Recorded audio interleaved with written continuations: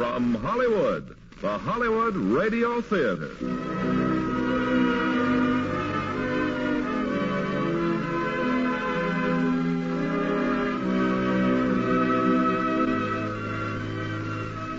Starring William Holden and Alexis Smith in Submarine Command. Ladies and gentlemen, your producer, Mr. Irving Cummings.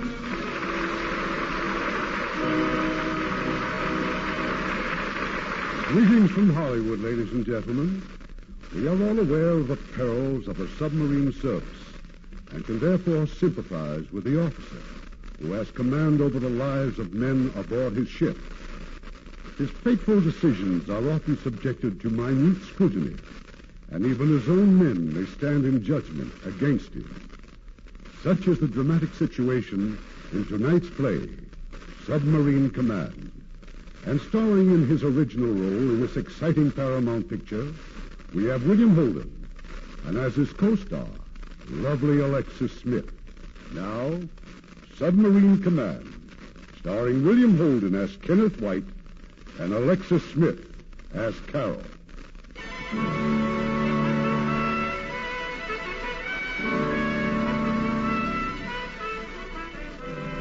If you've ever been to San Francisco, you may have seen the United States Navy Yard at Mare Island. When the war ended, scores of submarines, battle-scarred veterans of the Pacific, tied up at Mare Island and became part of our mothball fleet, the Submarine Reserve. This story is about one of those ships, the USS Tiger Shark, and one of her men, Commander Kenneth White. About a year ago, Commander White had reason for wanting to see his ship again. There was a sentry on the dock, but the ship was deserted, except for memories that refused to die. Well, you wanted to see her again? What are you hesitating for? Go on. Look around if you have to. But it won't make any difference. It's over. You finally know that. It was over that day six years ago. Look around and remember.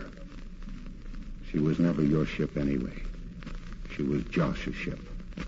She always will be. It's funny how things can start with nothing and then pile up so fast it's hard to remember them in any kind of order. I've turned and twisted them a thousand times looking for an answer that never comes. That afternoon, that 13th of August, 1945, the enemy had just about given up at sea. All we'd seen for days was empty ocean, gray, calm, and deserted. Not a hint that the first piece of my private jigsaw puzzle was about to drop into place. We were taking a surface run. Josh and I were on the bridge. The usual small talk. Looks like a nice day for a swim, huh? Oh, you wouldn't like it, Ken. That water's about 50 degrees. Well, that's what we call warm back in Michigan. Oh. Down in Kentucky, we'd chop it up and pour bourbon over it. Permission to come on the bridge, sir. Granted. Looks like we got some business. Plane from one of the carriers forced down on the drink. There's a pilot floating around in a rubber raft. Any bearings? 075 from Point Yoke, about 15 miles from us. All right, let's start looking for him. Come right to 310, all ahead flank. Come right to 310, all ahead flank. We picked up the pilot about an hour later. He'd been floating around since morning, suffering mostly from an acute case of boredom. Josh turned him over to me, and I fed him and clothed him, and then took him to my quarters to complete the report for the log. You mean to tell me you're the executive officer and they hand you a room like this? That's right. Now, what's your full name? Morris, Peter J. How can you move in this telephone booth? Now, let's see. Uh, we were talking about Australia. You were talking about Australia. How the level? You never been there? Nope. Oh, brother, you've been cheated. My advice to you is sue. Look, I've got to finish this report. Serial number. 837661. There was a little whack in Sydney on special duty. Ooh, talk about war effort. What ship? Ticonderoga. Hey, how can you sleep in a box like this? You know, this is the sort of punishment they should give strictly to academy guys. I'm an academy guy. Okay, so I'll kill myself. What happened to your plane? Went inland after a zero. I didn't have enough gas to get back to the carrier. You get the zero? Well, Natch. Not only did I. Hey, hey, what have we here? A girl's picture, huh? Mm-hmm. To Ken, all my love forever, Carol. Hey, that's a very pretty wife you got. Uh, she's not my wife. Well, why not? When did you have your last physical? I think you're minus your corpuscles. No, I, I just couldn't pin her down. Uh, got a mind of her own and a career. Big advertising job in San Francisco. Well, all the better. Friend, if I had a girl like that, I'd get a license and marry her during lunch hour. You know, I think you would. Hey, Ken, some gin rummy later? Yeah, if I'm still awake. Oh, what a life. You mean all you guys do is loaf around here with nothing to do but pick up flyers and play a little gin? Uh, occasionally we do other things. 18 Jap ships. 18. Well, I take it all back. You're a real bunch of gunslingers. Yeah, all except me. I, I just reported aboard. No action at all? I uh, I was in New London most of the time, then three cruises on the Starfish. I didn't even see a Jap. Oh. Oh, well, what's the difference? The war's practically over. In a couple of months, we'll all be sitting in some noisy saloon drinking that dirty old whiskey and watching the girls wiggle by. Tell me something, Morris. Sure. You ever think of anything but dames? Let me see. Uh... No, never. Nothing but dames.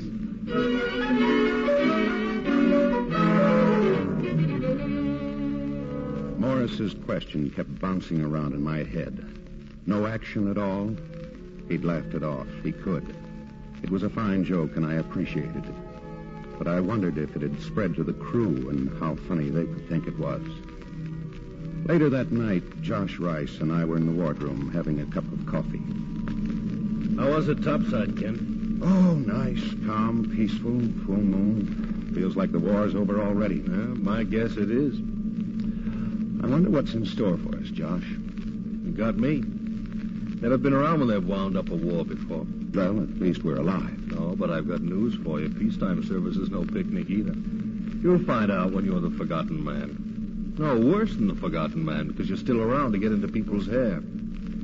Find yourself stuck with dull office jobs and paperwork. You'll see people out of service making big money. And all you'll have is the knowledge that if the country needs you again, it'll need you desperately.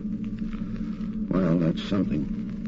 If you're a naval officer, that has to be everything. Don't kid yourself, boy. From here on in, it'll take plenty. Well, I better get this letter off to Alice. Oh, give her my best, will you? Yeah, sure. Wonder where I'll mail this from. Captain speaking. Very well, I'll be right up. Station a tracking party, Ken. Sighted some Japs, and I think we've got business. I'll take over, Carlson. Yes, sir. Uh, one tanker, two small freighters, and two escorts. Probably our last shot, huh? All right, let's get going. Battle station's torpedo. Battle station's torpedo. Aye, aye, sir.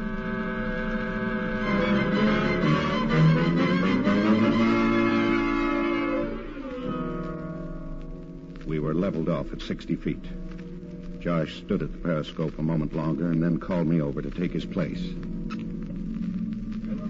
This one's for you, Ken. You take over. Get two of them. We'll have an even 20. Thanks, I'll try.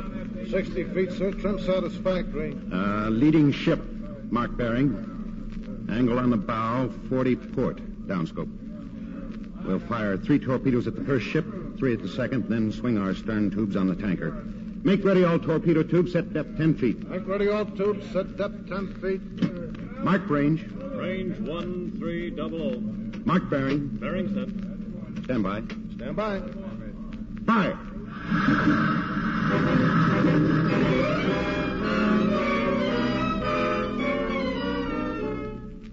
We got both freighters, but the tanker had turned and was heading for the shallow water, closer to shore. Take it easy, Ken. You got 19 and 20. That's all I asked What for. about the tanker? Oh, we'd need wheels to catch her. Let's stick around till those escorts clear out, and then we'll surface, see what we can pick up. Maybe we'll find somebody who'll tell us the latest Japanese news. We surfaced at daybreak. Josh, Carlson, Boyer, and I went on the bridge. In the distance, we spotted some of the freighter's survivors. And then suddenly a dive bomber was coming at us from out of the clouds. Watch it, Captain. Machine guns. Get below. Get below. Boy, that was close. And where do you suppose that plane was? Captain Rice. Hey, Captain. Hey, look, he's bleeding. Get down the ladder, Boyer. Stand by to dive. Dive. Dive.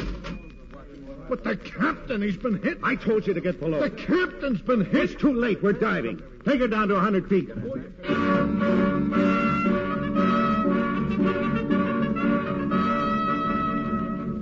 As I slammed the hatch, I caught the last glimpse of Josh Rice. He lay on the deck, motionless, that terrible look of surprise still on his face. Maybe he was still alive. But I had no choice. We stayed below till the sonar signals read all quiet. And then Boyer, the chief torpedo man, walked up to me. What about going back up, sir? He's dropped everything he has. How do we know there's only one plane? It'll only take a minute to get out with a rubber raft. I'll take my chances, sir. Captain Rice would do as much for any one of us. How about it, sir? Would he do as much, or would he think of the ship? All I know is that maybe we can still save him. High-speed propellers approaching, bearing 350. Left full rudder, steady on course 220. Left full rudder, steady on course 220. Sounds like a destroyer. But the captain, you just can't leave That's him. enough, Boyer. Get to your station. Yes, sir. Contact started pinging, sir. Rig for depth charges. Rig for silent running. They're going to make a run on us.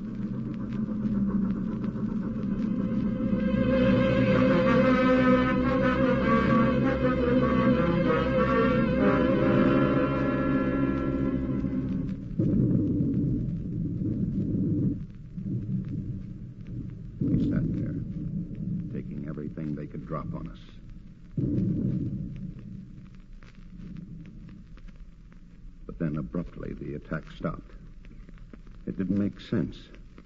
But the destroyer was leaving, the sound signals of its engines growing fainter and fainter. And then we learned the reason why. The Japs have surrendered, sir. I just got word in the radio room. They surrendered. The war's over.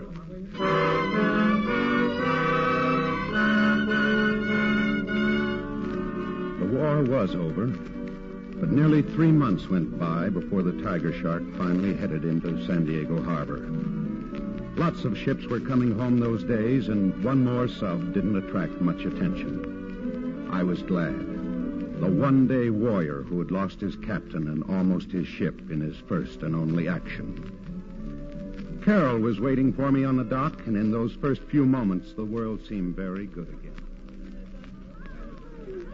And now, darling, meet an old friend of yours. Hi, if you're all through kissing her, I'll join you. Pete Morris, I thought we dropped you off in Guam. Well, so you did, but I hit Frisco three weeks ago, and we've been having a lovely time. Carol, you know this character? Well, three weeks ago I didn't. But then an amazing coincidence occurred. I checked all the phone books, all the advertising agencies, and just happened to bump into her. And then when we heard the Tiger Shark was coming home, Well, she couldn't come all the way down here alone now, could she? Well, look, I got it all arranged. A big party, someplace in town called the Blue Room. So round up your pals, and old Daddy here will show you how to build a great. Look, look, I'll, I'll have to join you later. I've got to see someone in Coronado. oh, Ken, not now. Well, well, can't I go with you? No, no, you run along with Pete. Well, what if you get lost? Where do we send for the body? Rice's house. I'm going to see his wife. Or rather, his widow. I'll see you later, honey.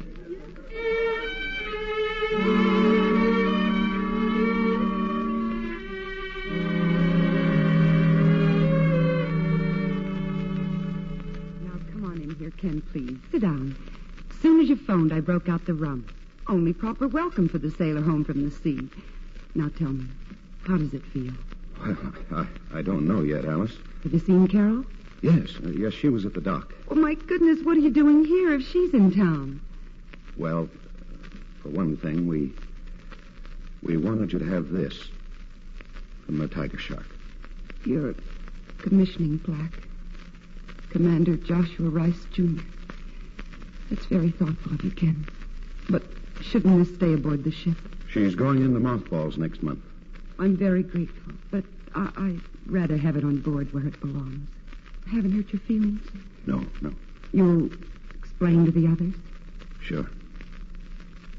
There was another thing, Alice. I wanted to tell you what happened between Josh and me, Nothing happened. but you haven't heard. But I have all about it. How you went back and the hours you spent searching for it. But did you hear I could have stopped the dive? I heard that you might have lost the tiger shark if you did. Everyone on board would have been glad to take the chance. Everyone but me. Ken, now stop it.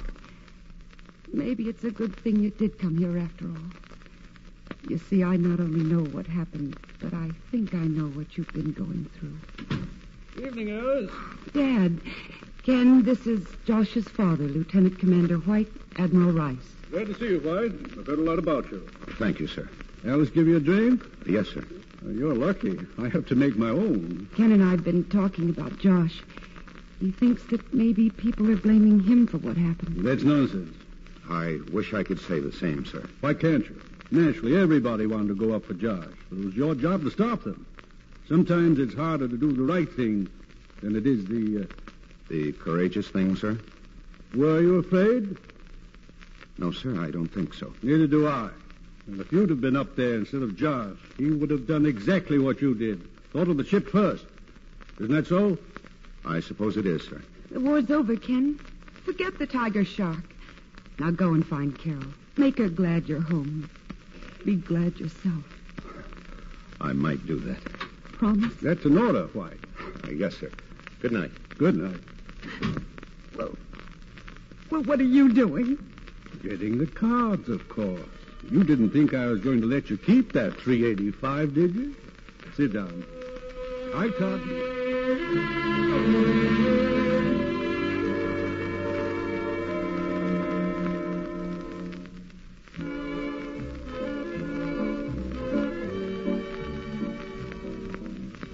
I went back to town and found them at the Blue Room. Carol, Pete Morris, and some of the others from the ship. It was quite a gay celebration.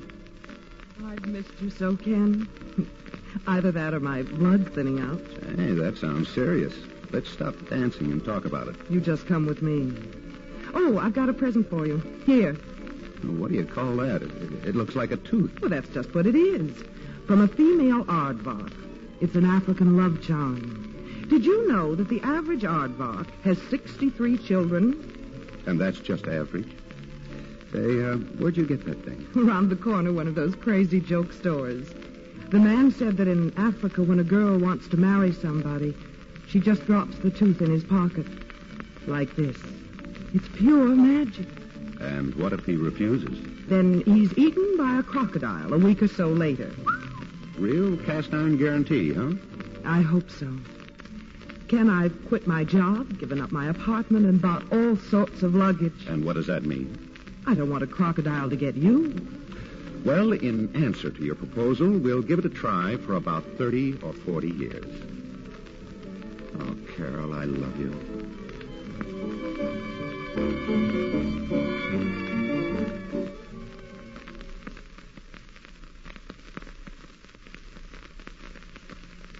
So, my dear friends, you may proceed to congratulate us. He has just won my hand. Well, suit yourself, Carol, but you've just blown your chances for a very poetic life.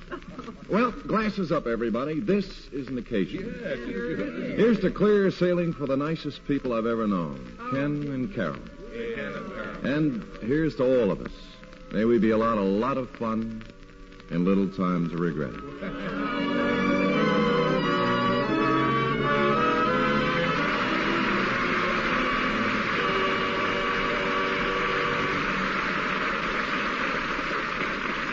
In a moment, we'll continue with Act Two of Submarine Command. Make a friend, and you make an ally. There's a thought for you to keep in mind, as many another American has. Dr. Frank Laubach kept it in mind and devoted his life to helping others. He first went to the Philippines as a missionary in 1915, and some ten years later went to live among the then primitive Moros. He asked them to teach him their language, not a syllable of which had ever been written. But Dr. Laubach found that by means of phonetic charts, he could teach the illiterate Moros how to read and write their own language for the first time. Until the Depression, money came in from Americans who'd heard of the doctor's work. And then a Moro chief gave Dr. Laubach an idea how he could continue his teaching. Through the theory of each one, teach one, each native who learned to read and write would teach another to do the same, and so on. Within seven years, Each One Teach One helped the natives rise from a 95% illiteracy to a point where over 70% of them could read and write. Dr. Laubach enlarged the scope of Each One Teach One to reach other countries, and from his work was born the World Literacy Committee, which has sent teams into 67 countries to spread the theory of Each One Teach One in over 200 different languages. In 20 years, over 65 million people learned to read and write through the system. A system which has brought the family of nations closer through education and proved most graphically that by helping others, you help your country. Now, our producer, Mr. Cummings. Act two of Submarine Command, starring William Holden as Ken and Alexis Smith as Carol, with Stephen Dunne as Pete Morris.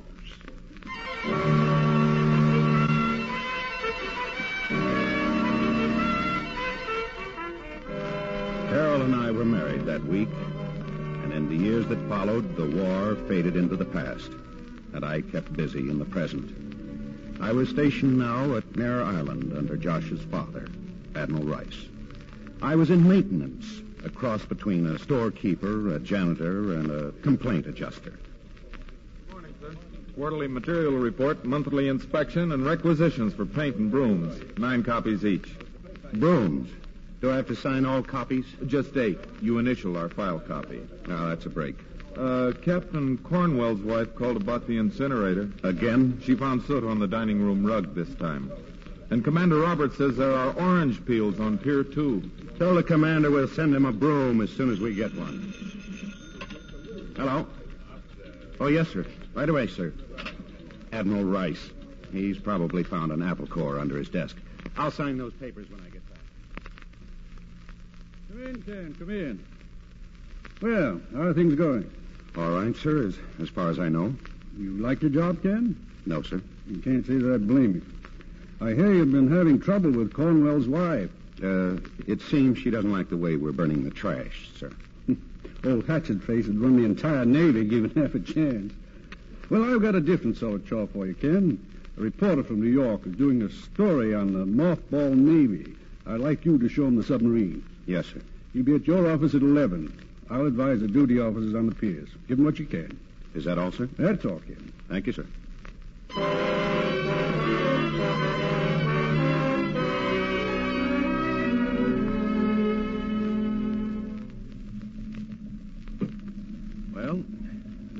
Mr. Gavin. 64 submarines, all nicely done up in mothball. It's six million bucks apiece. That's close to four hundred million dollars, Commander. That's right. Why don't you junk 'em? Let the taxpayers get something back for their money. Well, what if we should need them again? It's my guess the next war will be fought with push buttons. We'd better make sure we've got the buttons first. Uh, maybe you're right. Hey, how long would it take to exhume one of those if you wanted to? Oh, in an emergency, about two weeks. Yeah. By that time, be all over except the peace treaty. Well, I better get a couple pictures. Yeah, now there's one that looks like it saw lots of action. Yes. Yes, it did. Twenty Jap flags on a conning tower. Uh, what's her name, Commander? Tiger Shark. Ti- Tiger Shark, yeah. She's the one who lost her captain the day the war ended, right? Right. Why, the fellow who had to take her down must have felt like a heel. But he had a lot of sleepless nights after that. Happen to know who he was? Yes. Who? Me. Sorry, Commander. That's okay, Mr. Gavin. Now go ahead and take your pictures.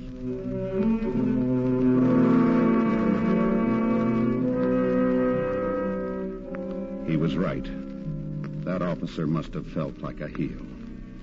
Who'd I been kidding? I was still the one-day warrior who lost his captain in his only enemy action. And then just before you got home, darling, Pete Morris called. He's coming over for dinner. Hasn't he got any other place to go? Ken. Oh, I know. Poor, lonely Pete, grounded on the very tough duty of teaching naval ROTC. All right. I'll, I'll call him back. Just tell him I've got jaundice. Just what have you got? Nothing. Something happened today, didn't it? What makes you think so? I can tell. All right, I'm fed up. With what? With being a clerk and a janitor and a glorified errand boy with lots of things. Ken, why don't you change your job? Oh, sure, sure. Just call the chief of naval operations and tell him I'm bored. I can't change jobs, and you know it. I'm in the Navy, remember? I could hardly forget it. And you can hardly forget that you gave up a $300 a week job to marry me, can you? Finish your drink, Ken. I'll go in and set the table. Carol hadn't deserved that. Not any of it. I wanted to apologize, but I didn't know how. So, like every husband, I hoped that a gift and a party at the club might substitute for the words I couldn't find. I planned it for the following night. The next day at the office. More signatures for you, sir. Oh, and a couple of other items. Well, like what? Well, there's a new chief outside reporting for duty, and a call from Parsons at the reserve fleet. He wants to know if we have any qualified submarine men. Why? They just got orders to put the Tiger Shark back in commission. Tiger Shark. How'd they happen to pick her? I don't know. Well, we haven't any men, so tell Is Parsons. this the garbage disposal unit of the United States Navy? Hiya, Pete. Hi. Hey. Yeah. Yeah, what's this on the desk? Oh, oh, that it's uh, uh, something for Carol. Oh, struck oil, huh? Wristwatches and parties. How do you do it? Because I'm an honest working man and not a playboy at the university like you. Uh, yeah, yeah, I guess you're right. Teaching naval ROTC is a lead pipe cinch. No courses to give out except navigation, gunnery, engineering, naval history, naval customs and traditions, communications, and ship handling. Two or three afternoons a week drilling, one night a week with a naval reserve unit, two nights preparing examination papers, three nights correcting them, and eight nights and Sundays trying to keep ahead of my students, most of whom are not sure they want to be in the Navy in the first place. Yeah, yeah, and in my spare time going to parties like yours. Well, you ready to leave? No, I, I can't, Pete. I've got some calls to make. I- I'll see you at the club. It's all right. Oh, oh beg your pardon. That's all right. Come in. Chief Torpedo Man Boyer reporting for duty, sir. Boyer. Well, where'd you drop in from? San Diego, sir. Oh, uh, Boyer, you remember uh, Commander Morris, the pilot we picked up? Hey, it's good to see you, sir. Hey, I thought you'd be retired by now. Maybe it's time I thought about it, sir. Well, sit down, Boyer. I'd like to. Excuse me, sir. I, I've just decided to request a transfer to another department. Why? You should be the last person in the world to ask that, sir. All right, Boyer. Report to the reserve fleet. Lieutenant Parsons. They've got just the job for you. Yes, sir. Thank you, sir.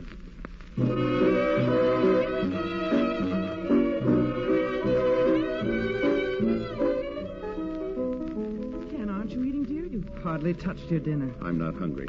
I I think the orchestra's better this year, don't you? They're a bunch of plumbers. That was a good band at New London. New London, that's the place. Just a couple of hours out of New York. You can run in for a few chorus girls, see the shows, big league baseball. Has the season started? Oh, sure, last week, Carlson. I guess Brooklyn will win again, just like last year. The Yankees beat their brains out. Well, I mean, uh, before that, they, they won the division. It's a league, Harry, not a division. Well, what's the difference? Who cares? Well, if he doesn't know when the season starts, how does he know Brooklyn's going to win? Which is what I read in the papers, Ken. Would uh, would anybody care When? for more? Last World Series, that's typical.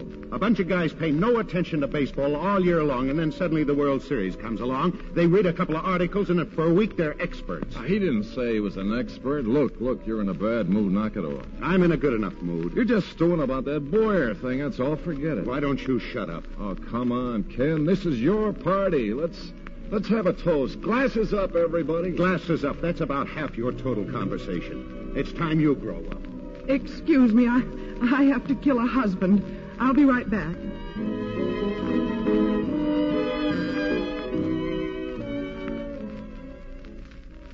Ken, Ken, wait, please. Now, what was all that about? Nothing. You can't walk out this way. It's your party. I don't feel like a party. You did this morning. What happened? What's all this about Boyer? He doesn't enter into it. Ken, Ken, I'm getting sick and tired of these moods. How do you think I feel in front of all those people? They must think you're crazy. I don't care what they think. Well, I do. We can't walk out and leave them. I'm not asking you to.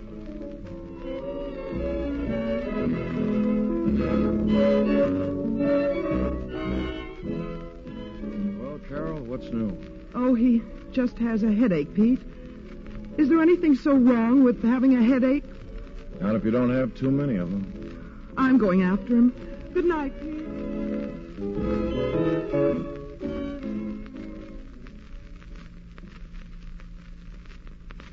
I had heard Pete's wisecrack, and he was right. too many headaches. And having Boyer in charge of the work crew on the Tiger Shark didn't help them any.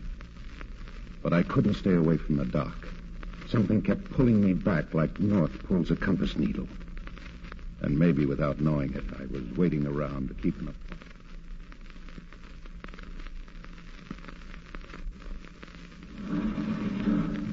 Well, how's you look, Commander? We're sure making progress. Yeah, yeah. Another week she'll be ready for dock trials. Yeah, so you told me yesterday.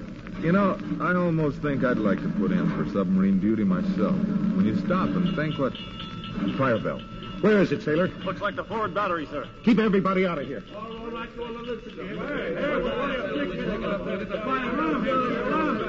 Oh, Ken. Where is it? Forward battery room. We've got it isolated, but there's a man in there. You, Stillman, get an asbestos suit and some CO2 cylinders. We're bringing them down the hatch now, sir. There isn't time for that. Open that compartment. Stand back, boy. You'd last about 30 seconds in there. There's a man in that room. He'll have to take his chance. Like Captain Rice took his chances, I went by the book once with And you. you'll go by the book again. Now get that suit on. Stillman, Adams, bear a hand on that suit. The rest of you stand by with that hose here.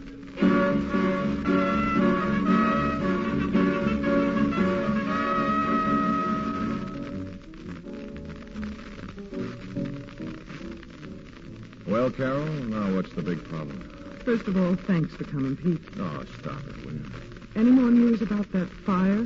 Well, the man was pretty badly burned. It's really too soon to say. Harry Carlson told me that Boyer wanted to go right in. Uh, Ken wouldn't let him? Well, the Admiral had something to say about that, too. He told Ken that he did the right thing. If he hadn't, Boyer and who knows who else may have been killed. I heard him say something. Then Ken's all right. All Ken said was maybe it's time he did the wrong thing. Oh, that's exactly what I mean. It's his whole attitude. Pete, I'm really desperate. There are times when I think he hates me. Oh, now, wait a minute. Well, he's he's mad at something. What is it? I'm a sweet child of the field. I know nothing. I've got to have some help, or this marriage of mine is going to go sky high. That wouldn't be fun for anybody. Except for guys like myself. Don't worry. I'm one of those fellows that, well, we go to all the parties and we eye other men's girls, but when you're free, we don't want any part of it. So, okay, go ahead, shoot. Well, what do you think about Ken seeing a psychiatrist? Anybody who sees a psychiatrist ought to have his head examined. Joke. No joke. I I know it sounds silly, but I've even thought about Ken quitting the Navy. What's so silly about that? Then it is the Navy. You do know something. All I know is that your marriage is headed for the rocks. Now, it isn't in the home, so it must be in the job. Get rid of the job. You honestly think that would help? I think it's the only solution. Tell him to get busy and look for something. Or better yet, you have the contacts. You promote something. Oh, he'll do fine. You'll iron out this beef between you, and you'll both live happily ever after. That'll be $25 for it. I I think I'll have a cocktail after all. Good. You know, now that you're happily married again, I'm getting very interested in you.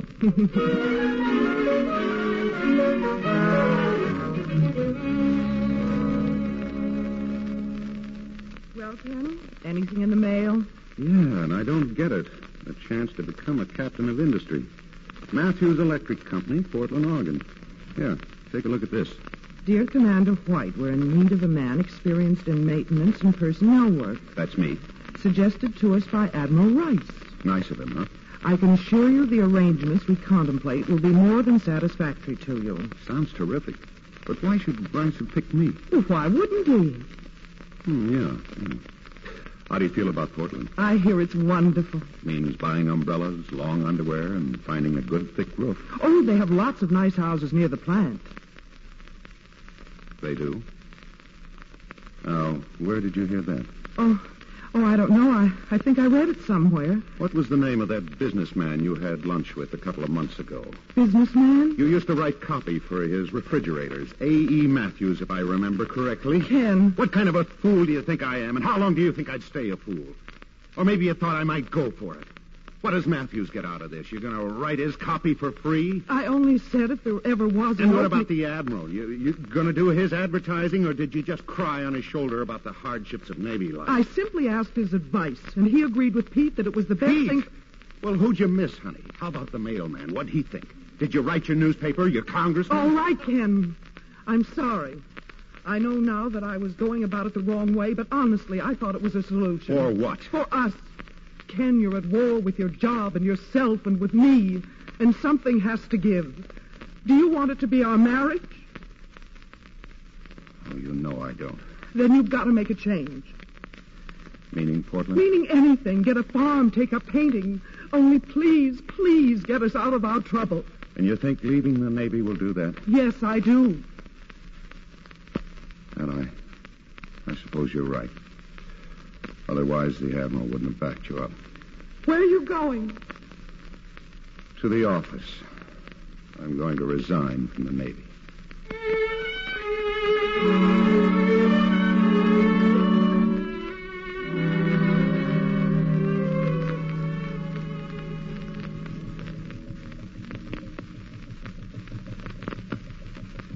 Hi.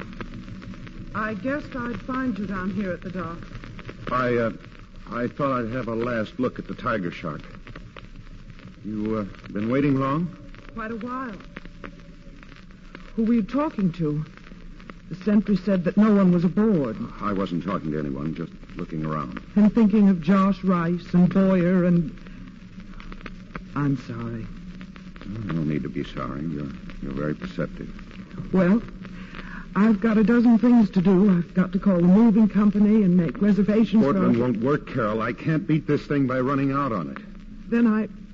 Then I'll still want to get my things moved out. Oh, look, Carol. Ken, please. Maybe we can talk it over. We have. We've beaten the subject to death. You can't seem to solve your problems in Portland, and I can't solve mine in the Navy. Isn't that right? I wish we'd made it. You're nice kinfolk. Goodbye, Ken.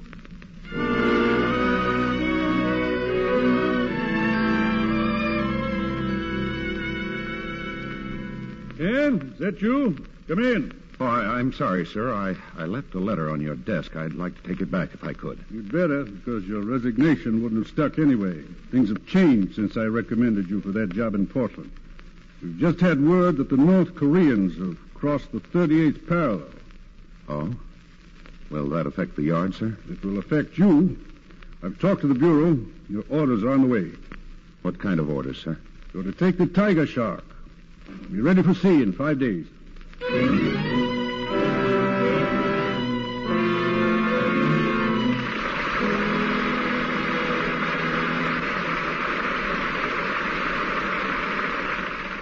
Act three of the Hollywood Radio Theater will continue in just a few moments.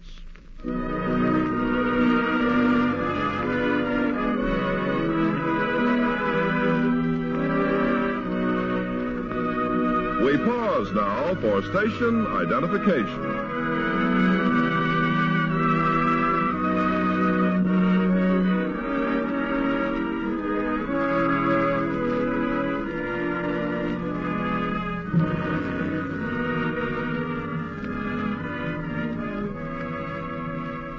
The curtain rises on Act Three of Submarine Command, starring William Holden as Ken and Alexis Smith as Carol, with Sheldon Leonard as Boyer.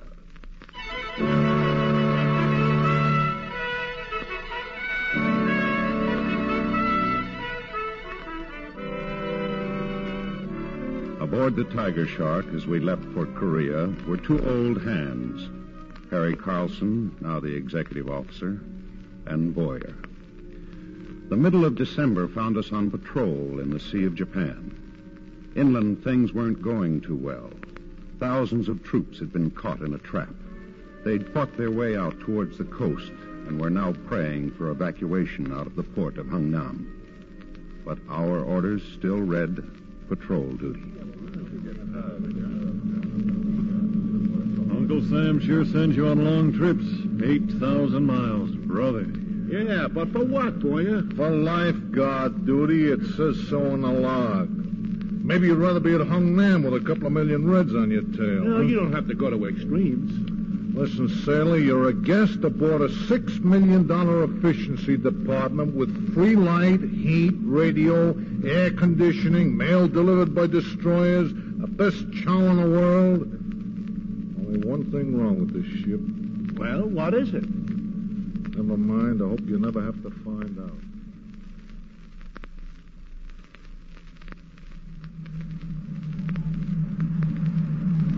News, Ken? Nothing yet. Colder, huh? The wind's shifting. About to lose both feet. Barton will be up in a couple of minutes to relieve you. Yeah, they get the mail sorted out yet? Yeah, you've got a dozen letters down there from Sue. Hey, thanks. Uh, you hear from Carol? Yes. Ken, I know it's none of my business, but... Uh, Look, there's nothing you can tell me I don't already know, including what a heel I've been. Permission to come on the bridge, sir? Granted? Oh, it's about time. Sorry, Harry, but I stopped to listen to the news from Hungnam. Beachhead's still holding. They're moving men and equipment off as fast as they can load them. How many to go? Over 20,000. I'll see you below, Harry. Right. Now we're steering 355 crew. Safety and negative are flooded. Ship's ready for diving.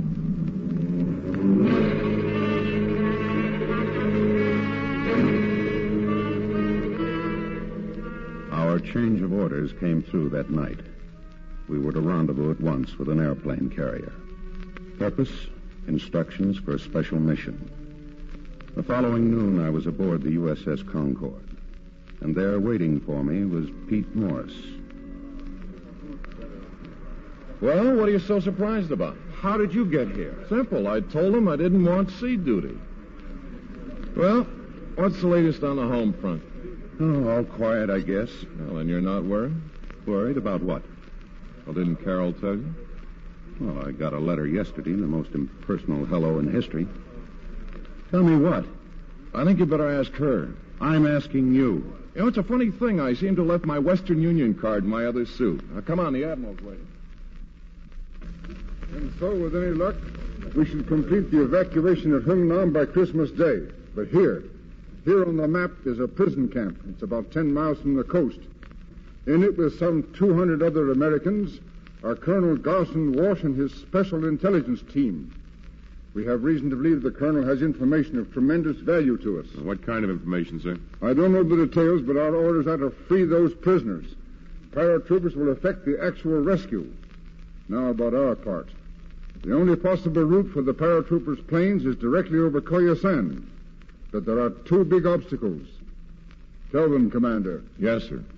Here at Point Nakomo, the enemy has a radar station, and here at Koyasan itself is a telephone center. Now, both installations will have to be knocked out before our planes can approach. And that's where you come in, Commander White.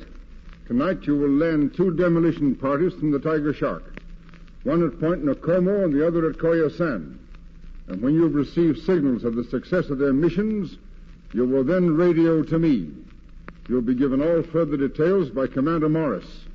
He's going with you.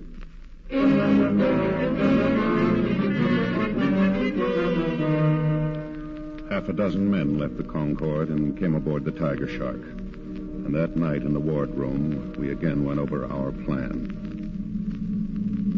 So this whole deal hinges on us. Unless the Reds are completely surprised, they'll massacre the prisoners. And in order to surprise them, we have to cut the communications. Now, three of us are going to be responsible for the radar station Major Kim, Lieutenant Barton, and myself. Okay, now we'll put you off on a rubber boat at uh, Point Nakomo. You'll go ashore and lay low for approximately one hour until 4.30. Right. That'll give us time to take the Tiger Shark to the entrance of Koyasan Harbor. Now, that's where you two frogmen can slip over the side. Yes, sir. There's no chance of getting into the harbor. None at all. The harbor's mine. It's okay with us, sir. We'll swim in. Now, at exactly 0430, both parties will proceed to destroy their objectives. As soon as you've done this, send me your signals and I'll radio the Admiral. Any questions? Uh, no, sir. Captain White? Yes? We've just sighted Point Nakomo, bearing 295. Very well. Be ready in 15 minutes.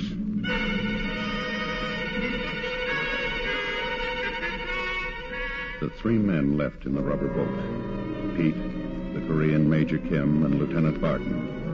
And we headed south for Koyasan. That gave us a little extra time to brief the frogmen. You can drop us at the breakwater, sir. We'll have about 30 minutes to reach shore. 30 minutes is maximum. We'll do it, sir. Now, look, if you're late, if the Reds get one word that their radar station's been destroyed, they'll use the telephone center to spread the news. Now, once they're able to do that, our whole operation's cooked. All right, now what about the... Sir, Chief Engineer requests permission to secure the starboard main motor. What's the trouble, Boyer? Bearing's running hot. How long to fix it? Can't tell yet, sir. At least a half an hour. Mr. Carlson? Sir? Make all speed possible on the port propeller. Pull an overload if you have to. We've got 17 miles to go.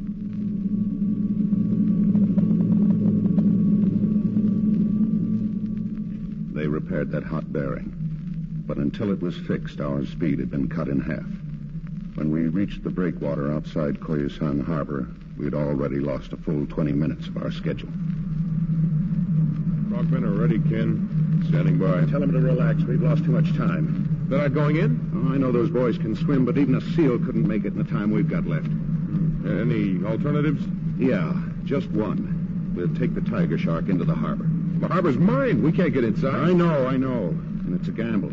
But this time the odds are right. One sub against the lives of those 200 prisoners. We'll take our chances. Clear the bridge. Stand by for dive.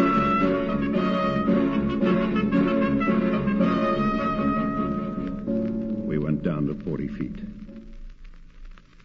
From here on in, all we could do was cross our fingers and rely on our instruments to get us through that minefield. Sonar reading 15 degrees on leader bow. There's an echo directly ahead of us.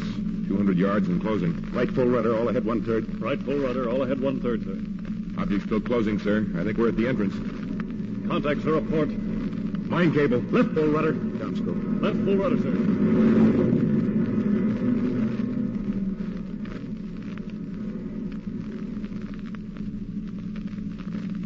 Clear, sir. Rudder amidships. Rudder amidships, sir. Steer 225. Steer 225, sir. Planer up. Let the frogmen off. Up scope. 38 feet. 35 feet.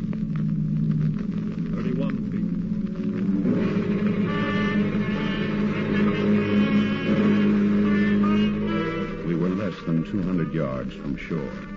The frogmen slipped over the side and disappeared into the water. If they reached their objective, they'd signal back by flashlight. I looked at my watch. We were still 12 minutes behind schedule.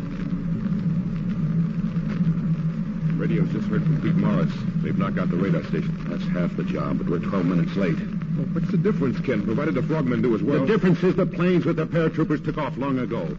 Unless they get the all clear to proceed, they'll turn back, and then we'll have to turn back.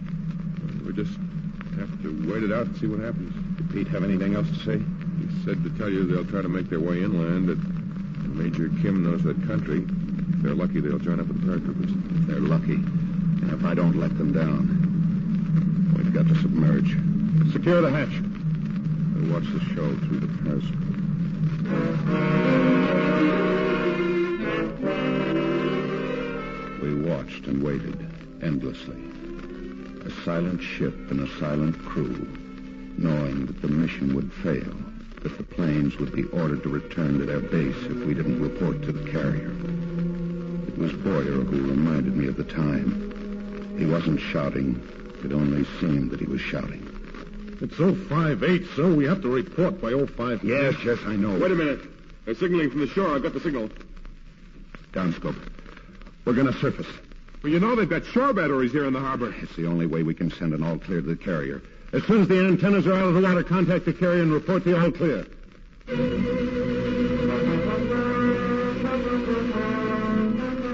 got our message off, and then it started. First the searchlights from the shore pinning us down, and then the big stuff from the hills. We answered them with everything we had, but it wasn't enough.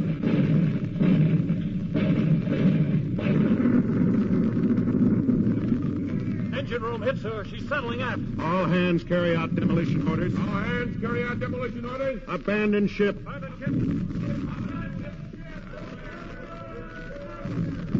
men leaped into the water. I thought they were all gone, and then in back of me I heard Boyer's voice.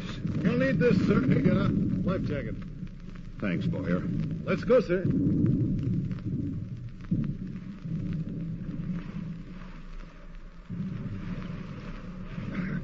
You all right, all right, Captain? Yeah. She was, she was a wonderful ship. Yeah. The best. Swim for shore. There's nothing else we can do. Pass the word. Yes, sir. Swim for shore. Pass the word. Ken? You hear what I hear? Hey, sounds like like paratroopers, sir. Right on schedule. And here come the jets. Hey, something tells me things ain't going to be so tough on that beach after all.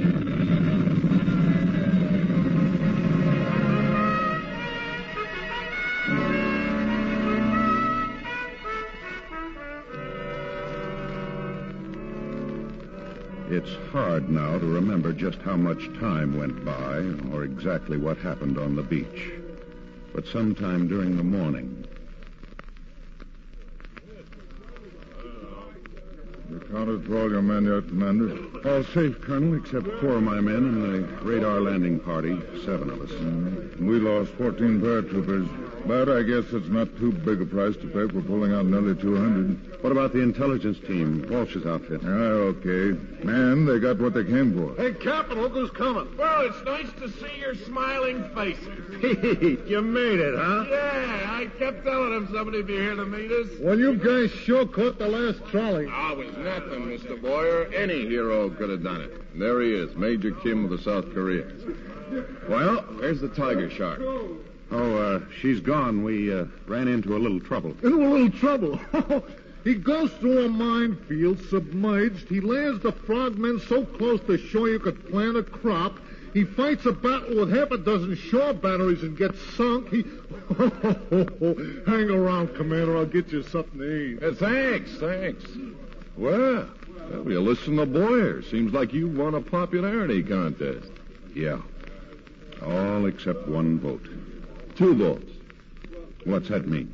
Well, I promised Carol I wouldn't tell you because she thought it'd seem like dirty pool having all your trouble with Boyer and the ship and so forth. But uh, I think now's a pretty good time.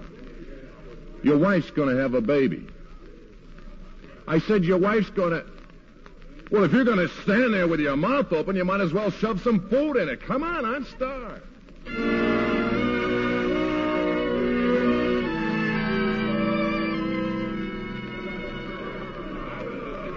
A couple of weeks ago, another submarine went down the ways and into the water. Bigger and better than anything we've ever known. Carol was there at the launching. She was the one who swung that familiar bottle of champagne. I hereby christen the USS Tiger Shark.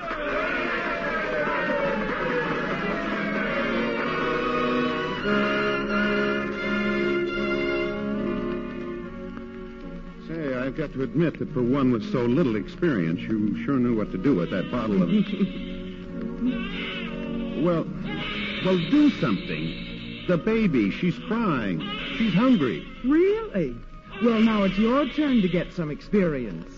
Here's the bottle, Papa. Get going.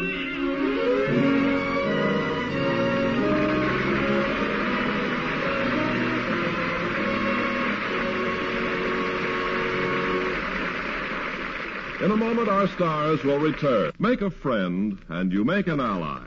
There's a thought for you to keep in mind, as many another American has. Elizabeth Vining was an American who probably had more individual success than anyone else in creating a strong feeling of friendship between the United States and Japan. In 1946, she was selected for the important job of teaching English to the 12 year old Crown Prince Akihito. Her tour of duty was for two years. In Tokyo, she found a class of 20 boys had been assigned to her. By patiently conducting her class completely in English, Miss Vining gradually taught them a language they were eager to learn. Her methods of teaching and subject matter were of her own choice. The boys studied American history and democracy, had discussions on the United Nations, and the prince memorized Lincoln's Gettysburg Address. At the end of her assignment, Miss Vining agreed to stay another year since the prince's English had reached the point where he could understand the expression of ideas. At the end of the third year, Prince Akihito was well acquainted with English and the benefits of a democratic way of life. Miss Vining's work was finished. The Emperor and the Empress thanked her for the understanding she had brought to the prince and the Japanese children and gave her many gifts to show their gratitude. And what had Elizabeth Vining learned from her work? That she had contributed much toward the future peace of Japan and the rest of the world. That she opened windows which had remained closed too long. As one of her students told her, You have not only taught us English, you have taught us thoughts. Yes, Elizabeth Vining had learned that by helping others, you help your country. Now, here is Mr. Cummings with our stars. And now, William Holden and Alexis Smith, let me thank you for two fine performances.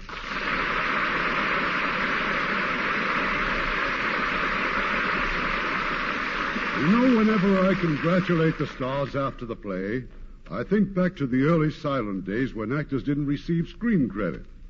It was only when the fans wrote in and asked the names of the artists that they were properly identified.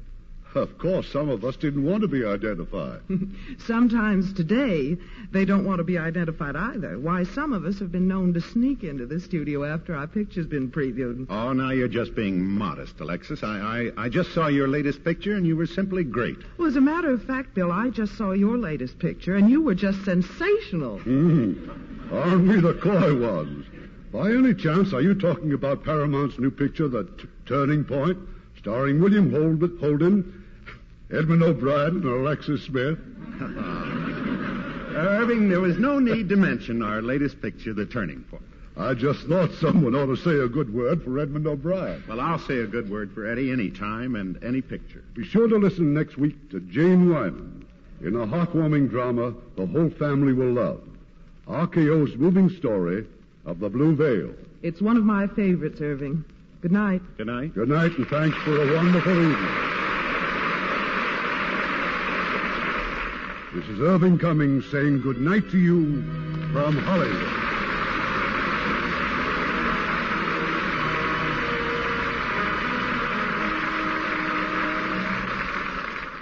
From Plymouth Rock to the war crippled world of today, our nation has derived its greatest strength from its spiritual principles. Our religious beliefs have given form to the whole structure of American living and helped to keep it free. Attendance at church or synagogue builds moral and spiritual character, both for the individual and for the community. Heard in our cast tonight were Stephen Dunne as Morris, Sheldon Leonard as Boyer, Lamont Johnson as Carlson, Larry Dobkin as Rice, Kay Stewart as Alice, Herb Butterfield as Admiral Rice, and Dan Riss, Robert Griffin, Herb Rawlinson, Robert Bruce, and Eddie Marr. Our play was adapted by S.H. Barnett, and our music was directed by Rudy Schrager.